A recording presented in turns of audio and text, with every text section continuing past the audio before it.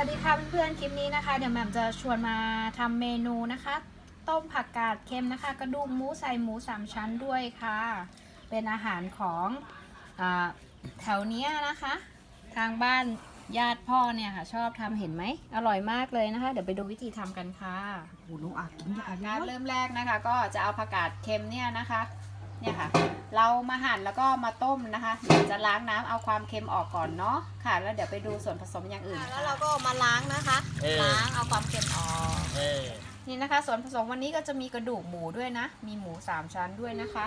หอมแดง ตะไคร้นะคะ ใบมะกรูดจากสวนนะคะ สดๆเลย ค่ะแล้วก็มาตั้งตั้งหม้อใหม่นะคะ ก็ใส่กระดูกหมูเออใส่ก็ใส่หมูน้ำลงไป ตั้งหมูญาติได้ที่แล้วก็ใส่อะตะไคร้ใส่ตะไคร้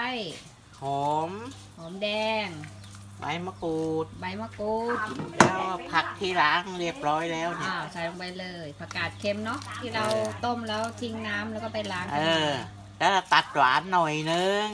โอเครสดีหน่อยนึงแค่เนี้ยพอ อ๋อตัดแค่น้ำตาลกับรสดีก็เป็นใช้ได้แล้วเพราะว่าความเค็มเราจะได้จากผักกาดเค็มเนาะแล้วก็อ่าเดี๋ยวจะเคี่ยวไปเรื่อยเออๆค่ะก็ง่ายๆแค่นี้เองค่ะ เดี๋ยวตอนได้ที่แล้วเดี๋ยวเรามาดูอีกทีนะคะก็เคี่ยวมาเรื่อยๆนะคะ ก็ใช้เตาถ่านเห็นไหมไฟเริ่มอ่อนแล้วค่ะ นี่ค่ะลองทำให้ได้เลยนะคะ จะติดใจมากนะคะ ก็อ่าญาติทางพ่อแหม่มเนี่ยก็เป็นคนจีนนะคะ ก็อยู่ที่พิจิตรนะคะ ก็ทางบ้านพ่อเนี่ยเขาก็จะทำอาหารแบบออกทางคนจีนนิดนึงอะค่ะเนี่ยค่ะ ทำให้ได้เลยค่ะ อร่อยมากเลย เดี๋ยวไปตักใส่จานกันค่ะ นี่ค่ะ เสร็จแล้วเป็นไงหน้าตาแบบนี้ค่ะ เห็นไหมน่าอร่อยมากเลยโนอานี่กินใหญ่เลยแน่น้องอากินใหญ่เลยอืมโนอาชอบมากเลยโอ้โหน้องเอาข้าวหน่อยข้าวอะไรขอข้าวสวยหน่อยนี่มันเผ็ดขน้นาองดอากินผักกาดเค็มโนอาชอบกินผักกาดเค็มใหญ่เลยโนอาจริงจริงอือหืเนื้ออโอ้โหให้หลานทันทันๆหน่อยยังร้อนๆอยู่เลยลูเปากเปาก่อนเปาเอา โทษโอ้ไอ้อาหายใจมั่งโนอากินหายใจมั่งจริงๆเลย ลองทำดูนะคะเอ๊ะเอ๊ะเอ๊ะวิธีทำง่ายมาก แต่เอาผักกาดเค็มที่เป็นหัวนะคะ เอาแบบเป็นหัวเนาะแล้วก็มาหั่นถึงจะอร่อยถึงจะเข้ากันนะคะเนี่ยก็เพิ่งจะรู้นะว่า เวลาที่เลือกมะละกอเนี่ย เราต้องเลือกซื้อมะละกอกระเทย ซึ่งจะได้ราคาดีและเนื้อที่อร่อย แล้วมีมะละกอตัวเมียด้วยนะ ไหน เดี๋ยวพามาดูมะละกอกระเทย นี่มะละกอกระเทย ลูกจะสวยแบบนี้เห็นไหมยาวๆลีลีอันนี้เกรด A เกรด B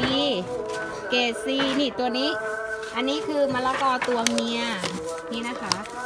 มะละกอตัวเมียก็จะกลมๆแล้วก็กลวงๆนะคะ ไม่ค่อยมีเนื้อนะก็เลยจะราคาถูก เพราะฉะนั้นเวลาที่ซื้อมะละกอก็นี่ค่ะเลือกมะละกอหน้าตาทรงแบบนี้นะ อืม นี่ค่ะกำลังคัดมะละกอกันใหญ่เลย ปลูกอยู่สวนข้างหลังบ้านเนี่ยค่ะ วันนี้กำลังคัดกันเยอะเลย โนอาทำไรคะ โนอาก็มาเล่นด้วยนะนูนกับมะละกอเต็มหมดเลย โอเคก็เอามาฝากกันแค่นี้นะคะโนอาจ้าโนอาจังจ้าโนอาจังกินมะละกอไหมอะลูก กินมะละกอเปล่านอาจังกินมะละกอเปล่าลูก เล่นโซนใหญ่เลยโนอาเต็มคันรถเลยค่ะ หวานมากเลย ที่สวนพิจิตรนะคะ พิจิตรโอเคมาฝากกันแค่นี้นะคะ เดี๋ยวไปดูโนอาก่อน